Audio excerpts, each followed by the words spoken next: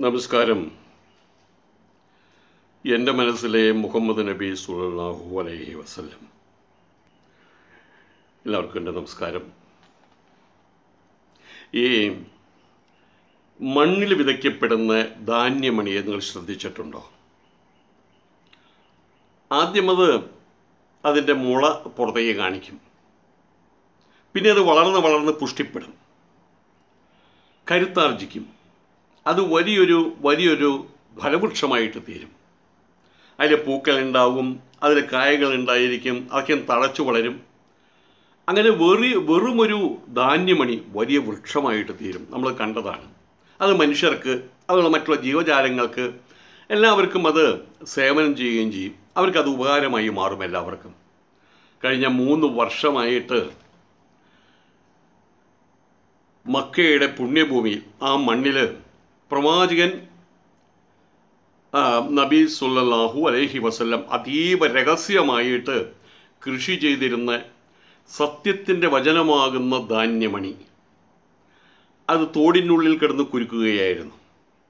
ഇപ്പോൾ അത് ഇപ്പോൾ അതിനെ പുറന്തോട് പൊളിച്ച് പുറത്ത് വന്ന് പുഷ്ടിയെ പ്രാപിക്കാനുള്ള അതിനുള്ള സമയമായി അതിനുള്ള സമയം ആഗതമായിരിക്കുന്നു വിശുദ്ധ വചനത്തെ അള്ളാഹു ഉദാഹരിക്കുന്നത് എങ്ങനെയെന്ന് നീ കണ്ടിട്ടില്ലേ? ഇത് ഖുറാൻ വചനമാണ് അത് നല്ലൊരു മരം പോലെയാണ്. അതിന്റെ വേരുകൾ ആഴ്ന്നിറങ്ങിയതും ശിഖരങ്ങൾ വാനോളം പടർന്ന് പന്തലിച്ച് നിൽക്കുന്നതുമാണ്. അതിൽ അതിന്റെ നാഥന്റെ അനുമതിയോടെ അത് എല്ലായ്പ്പോഴും ഫലങ്ങൾ നൽകിക്കൊണ്ടിരിക്കുകയും ചെയ്യുന്നു. ഇത് പ്രമാണവചനം. ഇത്തരണത്തിൽ ഈ വചനത്തെ നമുക്ക് ഓർമ്മിക്കേണ്ടതുണ്ട്. നിന്നോട് ആജ്ഞാപിക്കപ്പെട്ടത് നീ പരസ്യമായിട്ട് പ്രഖ്യാപിക്കുക. ബഹുദൈവ വിശ്വാസികളെ നീ അവഗണിക്കുക. ഇതും ദൈവകൽപ്പന തന്നെ. ഇനിയും കാത്തു കാത്തിരിക്കേണ്ടതില്ല എന്ന് സാരം. ഏതൊരു നല്ല കാര്യത്തിന് പുറപ്പെടുമ്പോഴും അത് നല്ല കാര്യമാണെന്നുള്ളതിന്റെ ലക്ഷണം എന്താണെന്ന് വെച്ച് കഴിഞ്ഞാൽ ദുർമാർഗികളായിട്ടുള്ള ആളുകൾ അതിനെ തടസ്സപ്പെടുത്തും. അപ്പോൾ മനസ്സിലാക്കുക ആ നാട്ടിൽ നല്ലതല്ലാത്ത രീതിയിൽ ജീവിക്കുന്ന ആളുകൾ എല്ലാവിധ ദുർമാർഗങ്ങളും ഏറ്റെടുക്കുന്ന അധർമ്മികളായിട്ടുള്ള ആളുകൾ അവർക്ക് രോഷമുണ്ടായിക്കഴിഞ്ഞാൽ അതിന്റെ അർത്ഥം എന്താണ്? ഈ രീതിയിൽ ദൗത്യം ഏറ്റെടുക്കുന്നവർക്ക് അവരുടെ അവരുടെ പാത ശരിയാണ് എന്നാണ് അതിന്റെ അർത്ഥം. ആയതുകൊണ്ട് തന്നെ ബഹുദേവത ആരാ- ആരാധനക്കാർ ഏറ്റവും നികൃഷ്ടമായിട്ടുള്ള വിഗ്രഹാരാധന ഏറ്റവും പ്രാകൃതമായിട്ടുള്ള ബിംബാരാധന ബിംബ ദൈവങ്ങളുടെ ആരാധന. അത് നടത്തുന്ന ആളുകൾ അധർമ്മികളും കുധർമ്മികളും ദുർമാർഗികളുമായിട്ടുള്ള ആളുകൾ അവരെതിർക്കും അവരെതിർക്കും. അവരുടെ എതിർപ്പിനെ മാറ്റി വെച്ചുകൊണ്ട് എന്റെ ദൗത്യത്തെയും കൊണ്ട് മുന്നോട്ട് പോകാനാവില്ല ആയതുകൊണ്ട് അവരുടെ ദൗത്യത്തെ എന്താ ചെയ്യേണ്ടത്? അവരുടെ ദൗത്യത്തെ അവഗണിക്കേണ്ടതുണ്ട്. നിന്റെ അടുത്ത ബന്ധുക്കൾക്ക് നീ ഇൻദാർ മുന്നറിയിപ്പ് താക്കിയത് ഇൻദാർ നൽകുക മുന്നറിയിപ്പ് നൽകുക. ഇത് അള്ളാഹു അള്ളാഹുവും പരമകാരുണികനായിട്ടുള്ള അള്ളാഹു പ്രവാചകനോട് പറഞ്ഞ വാക്കുകളാണ്. ഇതനുസരിച്ച് പ്രവാചകത്വ ലബ്ധിക്ക് ശേഷം മൂന്ന് വർഷം കഴിഞ്ഞപ്പോൾ അള്ളാഹുവിന്റെ മഹസന്ദേശം പരസ്യമായിട്ട് പ്രഖ്യാപിക്കാൻ തീരുമാ തിരുമേനി തീരുമാനിച്ചു. അള്ളാഹുവിന്റെ ആജ്ഞകൾ അദ്ദേഹം ഓർമ്മിച്ചു. നിന്റെ അടുത്ത കുടുംബാംഗങ്ങളെ നീ താക്കീത് ചെയ്യുക. അവർക്ക് മുന്നറിയിപ്പ് കൊടുക്കുക. നിന്നെ പിന്തുടരുന്ന സത്യവിശ്വാസികൾക്ക് നീ നിന്റെ ചിറക് വിരുത്തി കൊടുക്കുക. അവർക്ക് വേണ്ടുന്ന സംരക്ഷണം കൊടുക്കുക. അവരിൽ ദുർബലരായിട്ടുള്ള ആളുകളെ ബലപ്പെടുത്തുക. അവരിൽ ദരിദ്രരായിട്ടുള്ള ആളുകൾക്ക് നീ ആഹാരം കൊടുക്കുക. നിന്റെ ചിറക് വിരുത്തി നിർത്തുക അവർക്ക് മേലെ. അവർ നിന്നെ ധിക്കരിക്കുന്ന പക്ഷം ഈ സത്യവിശ്വാസത്തിൽ നിന്ന് അകന്നു പോകുന്ന പക്ഷം ദേ നിങ്ങളുടെ പ്രവർത്തനങ്ങളിൽ എനിക്ക് യാതൊരു വിധത്തിലുള്ള ഉത്തരവാദിത്വവും ഉണ്ടാകുന്നതല്ല എന്ന് അവരോട് പറഞ്ഞേക്കുക. തല്ലുകൂടാനൊന്നും പോണ്ട. അവരോട് ഈ കാര്യം പറഞ്ഞേക്കുക. ആയതുകൊണ്ട് നിന്നോട് ആജ്ഞാപിക്കപ്പെട്ടത് പരസ്യമായിട്ട് പ്രഖ്യാപിച്ചേക്കുക. ബഹുദൈവത ആരാ വിശ്വാസികളെ അവഗണിക്കുക. ഏറ്റവും നല്ല മാർഗമാണ് അവഗണന. ശരിയല്ലാത്ത രീതിയിൽ ആളുകൾ ശരിയല്ലാത്ത പാതയിലൂടെ ആരെങ്കിലും മുന്നോട്ട് വരുമ്പോൾ അവർക്കെതിരെ നിൽക്കുന്നത് പോലും അവർക്കൊരു പ്രചോദനമാണ് വാസ്തവത്തിൽ അതിനെന്താ ചെയ്യേണ്ടത്? പരിപൂർണമായിട്ട് അവരെ അവഗണിക്കുക.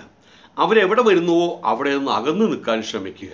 അതാണ് ഏറ്റവും നല്ല ഏറ്റവും നല്ല ഈ ദൗത്യത്തിനെ ഈ ദൗത്യത്തെ മുന്നോട്ട് കൊണ്ടുപോകാനുള്ള ഏറ്റവും നല്ല മാർഗം അതാണ്. അതുകൊണ്ടാണ് പറഞ്ഞത് ബഹുദേവതാരാധനക്കാരെ അവഗണിക്കുക എന്ന് പറഞ്ഞത്.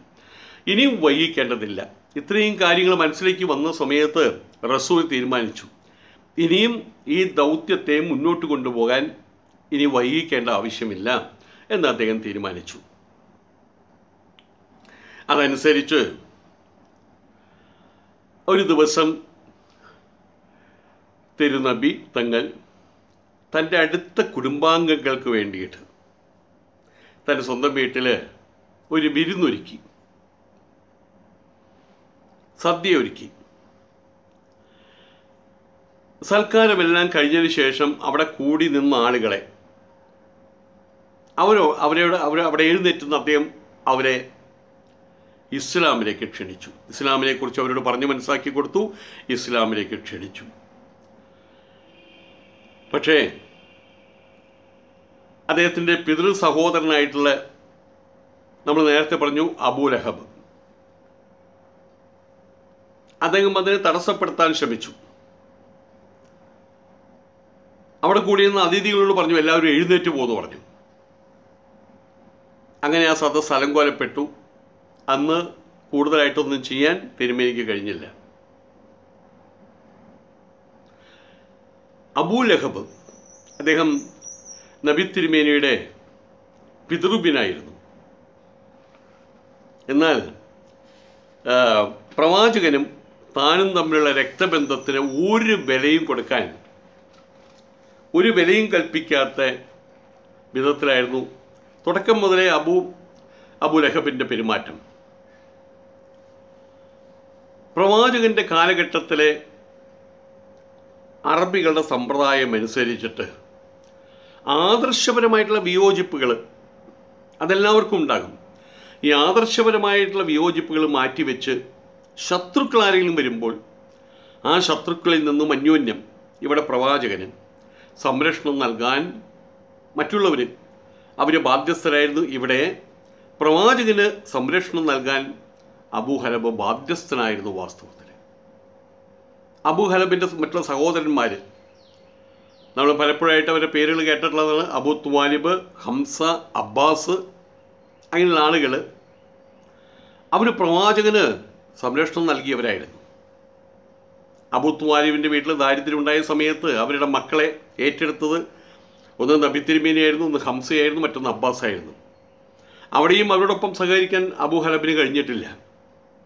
എന്നാൽ കാരണം മറ്റുള്ള സഹോദരന്മാരൊക്കെ പ്രവാചകന് വേണ്ടുന്ന സംരക്ഷണം നൽകി അദ്ദേഹത്തിന്റെ ദൗത്യത്തിന് ബലമേകി അദ്ദേഹത്തിന്റെ ദൗത്യത്തിന് സഹായം നൽകി പക്ഷേ അബൂഹലബിന്റെ പെരുമാറ്റം നേരെ മറച്ചായിരുന്നു. ഏതായാലും കുടുംബാംഗങ്ങളെയെല്ലാം വിളിച്ചു ചേർത്ത് അള്ളാഹുവിന്റെ സന്ദേശം. പകരാൻ നടത്തിയ ആദ്യ ശ്രമം അബുലഹബ് അത് തടസ്സപ്പെടുത്തി. അതുകൊണ്ട് റസൂൽ നിരാശനായില്ല. നിരാശനാകാൻ വേണ്ടി വന്നവനല്ലല്ലോ. വീണ്ടും തൊട്ടടുത്ത ദിവസം തന്നെ അതേ ബന്ധുക്കളെയെല്ലാം വിളിച്ചു കൂട്ടി അവർക്കെല്ലാവർക്കും സദ്യയും ഒരുക്കി. സദ്യയ്ക്ക് ശേഷം എല്ലാം കഴിഞ്ഞു. പ്രവാചകൻ എഴുന്നേറ്റെന്ന് അവരോട് പറഞ്ഞു നോക്കുക അള്ളാഹു അല്ലാതെ ആരാധ്യൻ ആരുമില്ല. ലാ ഇലാഹ ഇല്ലല്ലാഹ്. ഞാൻ നിങ്ങൾക്ക് പ്രത്യേകമായിട്ടും മനുഷ്യർക്ക് പൊതുവേയും നിയോഗിതനായിട്ടുള്ള ദൈവദൂതനാകുന്നു.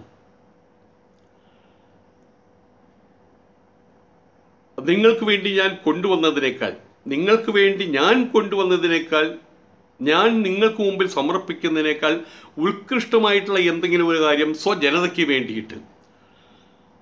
സ്വജനതയ്ക്ക് വേണ്ടി കൊണ്ടുവന്ന ഒരു മനുഷ്യനെയും ഈ അറേബ്യയിൽ ഞാൻ ഇതുവരെ കണ്ടിട്ടില്ല.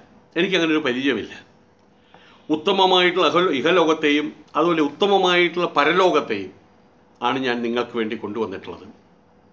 നിങ്ങളെല്ലാവരെയും ഇതിലേക്ക് ക്ഷണിക്കാൻ എന്റെ നാഥനായിട്ടുള്ള അള്ളാഹു എന്നോട് ആജ്ഞാപിച്ചിരിക്കുകയാണ്.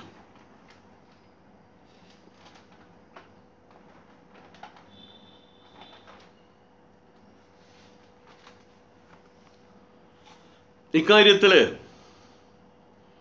ഈ ഒരു മാർഗത്തിൽ എനിക്ക് പിന്തുണ തരാൻ എനിക്ക് പിന്തുണ നൽകാൻ എന്നെ സഹായിക്കാൻ എന്റെ ദൗത്യത്തിന് ബലം കൂട്ടാൻ ഇവിടെ ആരാണുള്ളത്